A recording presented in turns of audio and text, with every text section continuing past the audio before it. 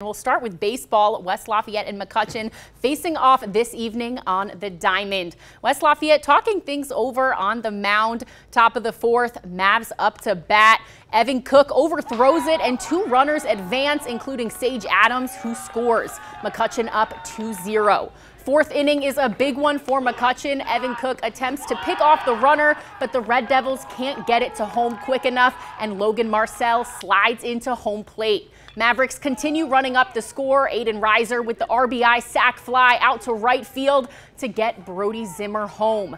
McCutcheon up 4-0. Sage Adams back up to bat. He hits an RBI single that gets past shortstop Manny Gata into center field. And Adams hit knocks Riley Sands into home plate.